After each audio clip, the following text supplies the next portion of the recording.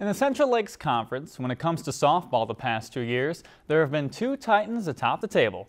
Rocori has finished first both years, with Brainerd right behind in second.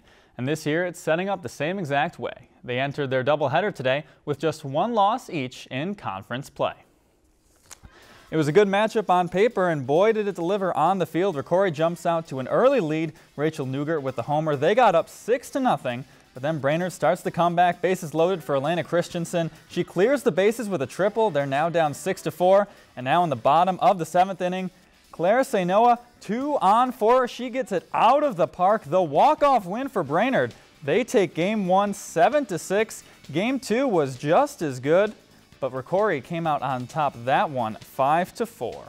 If you enjoyed this segment of Lakeland News, please consider making a tax-deductible contribution to Lakeland PBS.